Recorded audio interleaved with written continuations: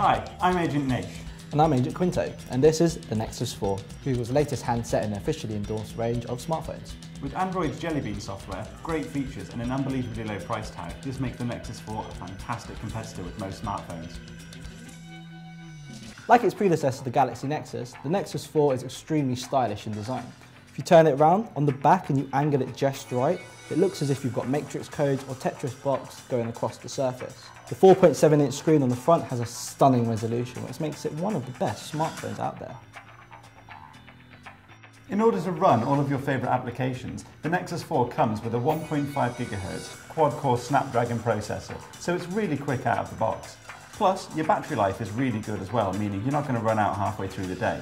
And when you get home, you can buy additional wireless charging stations, so you pop it on your desk and that charge it for you. You've also got quite a decent 8 megapixel camera which can take up to 1080p video. And if you want a really cool way to share those, most new Android smartphones come with a bit of technology called Android Beam, and this lets you share content wirelessly. Simple. The Nexus 4 also comes in an 8GB and 16GB versions, but sadly does not have an SD card slot so you can expand that memory. Because this is Google's flagship device, it comes with the very latest version of Android Jelly Bean. One of the cooler features of that is that when you're typing a text message or entering any data, you can use gesture typing to swipe along the screen to enter what you want to type.